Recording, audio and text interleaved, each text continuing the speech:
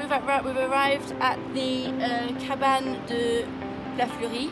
It's been, um, it's been a good day, a um, bit overcast, a bit rainy at certain moments. We've set off from uh, the Cabane de Mont Fort this morning. We've done three cols, most of them being near enough to 3,000 metres of altitude. The first one's very technical, you know, um, quite steep, lots of rocks, slippy rocks, and the two others are more physical, quite tiring but not very long. Um, it's been a nice day, it's been quite cool, so luckily we've had not much sunburns, but um, we've actually managed to see quite a lot of animals today, which is which is a, a good point.